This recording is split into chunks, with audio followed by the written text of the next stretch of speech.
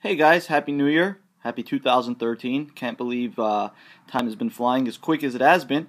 Uh, 2012 saw a great year in the industry of smartphones, uh, be it Android, uh, iOS, or Windows Phone. Now you got BlackBerry 10, which is about to be released. However, over here I have the Nexus 4. Uh, this has been my daily driver uh, since I purchased it about a month and a half ago, and I immediately flashed CM10 on it the moment I received it. Now, I'm going to go ahead and do a video here on how to exactly flash CM10, uh, CM10.1 actually, onto your Nexus 4 uh, to go ahead and get the features that the uh, Cyanogen Mod ROM goes, uh, gives you. Now, a lot of people may be asking, what's the point of flashing CM10 when you've already got a stock build directly from Google on the Nexus? Well, there's a few advantages. Number one, battery life. Uh, battery life on this uh, ROM, CM10.1, the Mako build, is a lot better than the stock build. Um, I can attest to that. I've done numerous tests, and the battery life is just seemingly better. Now, what else? You get customizations. As you can see, you can customize your home screen uh, to have a certain amount of icons per row. As you can see, I have five. Again, you can't do that on stock unless you have a, a custom launcher installed. Um, I, this is stock Trebuchet launcher is what it uses. Uh, and you know, there's a lot of features. You know, the same. If, if you go to my Galaxy S3 video with the CM10 build on it, you can see that it's pretty much the same features. You know, the home screen, you can. Uh, hide icon labels. You can adjust the grid size, default screen. You can adjust the dock. Uh, you can mess with the drawer. Um, you know, general uh, auto rotate full screen mode. I mean, it takes away the notification basically. Uh, you got the flip secondary notification right there. Uh, you can also you can also um, customize this to your liking and add and, and, remove whatever it is that you like. You got the quick toggles up here. Again, you can adjust them to your liking. Uh, you got various system options. Um, notification quick settings panel that's what I just showed you up there on the notification power menu clock widget notification light and status bar options uh, you also of course get performance options which allows you to overclock and underclock your device um, so that's that's something that's built into the ROM let me just go ahead and go back here uh, you of course also got developer options. And just to go ahead and show you the ROM it's 4.2.1 Cyanogen mod. Uh, I believe this is the latest nightly build. And you know just to let you know the nightly builds are quite stable on this device. Uh, the nightly builds are stable and they are usable on a day-to-day -day basis. As a daily driver this build uh, since the first nightly actually as a matter of fact has been uh, pretty darn good. So you can see right there it's running the stock kernel that comes with the ROM. Uh, 10 point you know, nightly build right there, Cyanogen mod nightly. CM10. Okay, so I'm going to go ahead and show you a step-by-step -step on how exactly to install this ROM. Now, first thing you got to make sure you have on your phone is root. You got to make sure your phone is rooted. Uh, I'll go ahead and post a link below on uh, instructions of how to root, and I'm going to go ahead and take you through where to get the ROM and how to install it. Okay, so once you have root, now again, once you have root, you want to make sure that you all you have super user installed.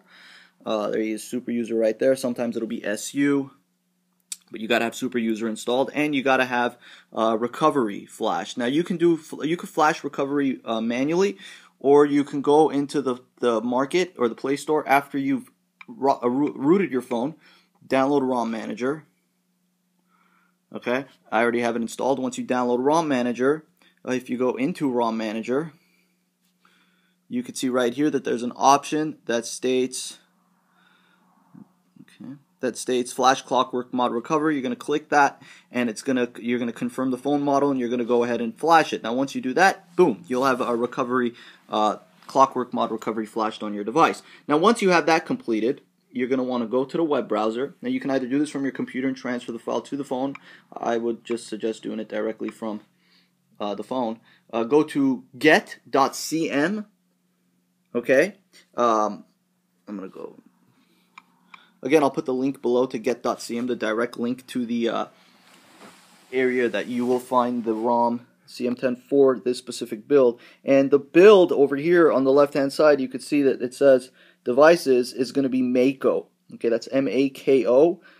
Mako. You're going to want to click on Mako, Google Nexus 4, and boom, right there. You have the most updated nightly build. Uh, 1.4, okay, I have 1.3 installed, so 1.4 would be the newest. So what you do is you're going to want to just click on it, and it'll begin downloading it. Now, I'm not going to download this. I'm just going to go ahead and show you guys uh, the process. So once that's downloaded, okay, once you have that completed,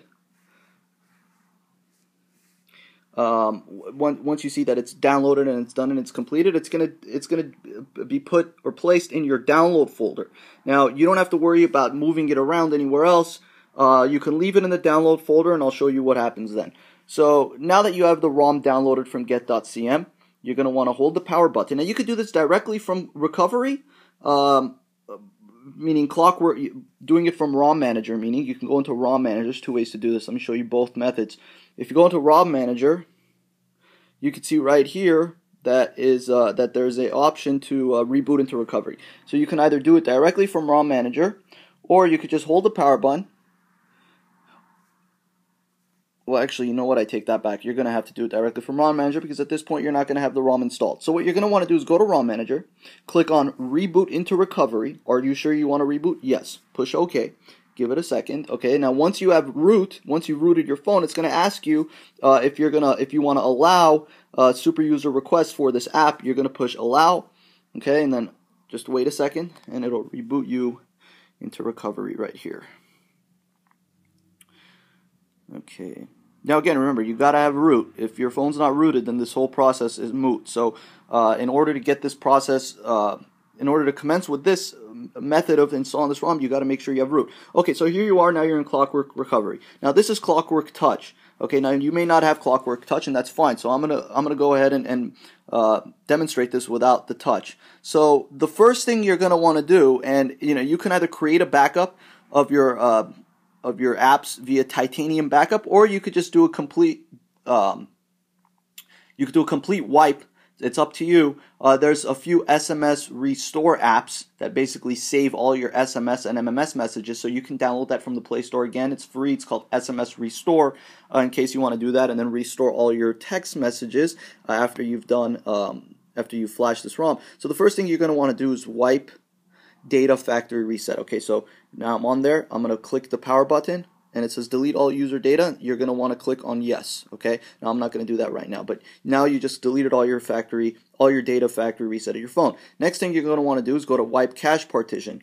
Yes, you're going to want to wipe the cache as well. Okay, after you're done wiping the cache, you want to go to advanced and you want to wipe the Dalvik cache. Okay, so once you've wiped the Dalvik cache, again, it's going to say you're going to go to yes and it'll wipe your Dalvik cache. After you've done wiping your Dalvik cache, you're going to want to go back here, okay?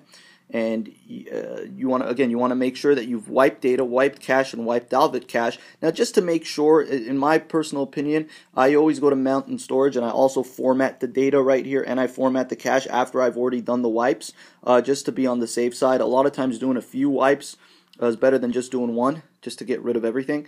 Okay, so you can I, you can do that, or it's not necessary. But if you want to just be on the safe side, go ahead and go to Mounts and Storage, Format Data, Format Cache, go back. Okay, next thing you're going to want to do is go to Install Zip from SD card. Okay, and then you're going to want to click on Choose Zip from SD card. Okay, and then go ahead and find your download folder. Okay, once you found your download folder, you're going to want to go to where the ROM is kept okay, or where the ROM is located. Right here, as you can see, there's the 1.3 or 1.4, whatever build it is that you downloaded, and you're going to want to click the power button on uh, immediately when you locate the file. And once you do that, it's going to go through an installation process, and then that installation process generally takes a few minutes, you know, no more, no less than a few minutes.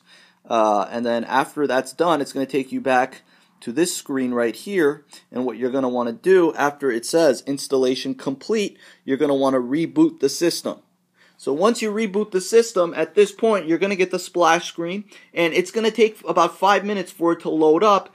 Everything's going to be a fresh new load, so it's going to install all these new. Uh, well, it's it's basically installing a whole new operating system, so to speak. And you're going you're going to get the splash screen, and then it's going to take you up to the uh, to the sign in screen to where you're going to sign in with your Gmail account. You can do that uh, later on, or I, I recommend doing it immediately. Now, once you sign in, uh, once you're done signing in, again, as if it's a brand new phone, at that point, what you want to do is you want to let your phone marinate for a few minutes. You want to let your phone simmer. In other words, don't use it because it's still technically installing things, uh, system files, etc. So if you want it to run to its maximum potential, Don't play with it for about 10 minutes after you log in or sign in or after the ROM's done installing. And then after that, you basically have the ability to go ahead and do whatever you'd like. Uh, now, it's going to be a fresh install, so everything's going to be brand new. And um, that's pretty much it. At that point, you're going to have CM10 uh, with Jelly Bean 4.2.1 flashed on your phone. Now, again, it has its benefits. Uh, and you want to do this at your own risk. Uh, there are issues that can occur in, in, in, the, in the process of installing this. So, you know, just to just to go through the steps again, you want to make sure you root your phone. I got, I'll get a link down there that gives you directions on how to root. Very easy process. After root, you want to make sure that you go to the Play Store and download a ROM Manager. And once you download ROM Manager, you want to make sure that you flash the most updated Clockwork Recovery, which we went through. After you do that, you want to go to the website get.cm, which again I'll list below, and you want to download the updated uh, CM 10.1 ROM for the Nexus 4 Mako. It's called the Mako build. And after you're done with that, you want to go back to ROM Manager go to Clockwork Recovery or reco- reboot into Clockwork Recovery. At that point, wipe your data, wipe the cache, wipe the Dalvik cache, um, and then go ahead and flash the ROM. And after you do that, you want to just go ahead and sign in again as if you've got a brand new operating system loaded on your phone, as if it's the first time you're ever using your phone. You're going to sign in to your Google account or whatever account it is that you have synced to your phone. Uh, and you're going to let the phone sit for about 10 minutes just so all the system files and everything can marinate in. All right, so there you go, guys. Uh, there's a quick installation uh, tip how to install CM10 on your Nexus 4. If you have any questions or if you're having any issues with this process, go ahead and ask me and I'll reply uh, as prompt as possible. Other than that, thank you guys for watching and go ahead and have a good day. Thank you. Bye bye.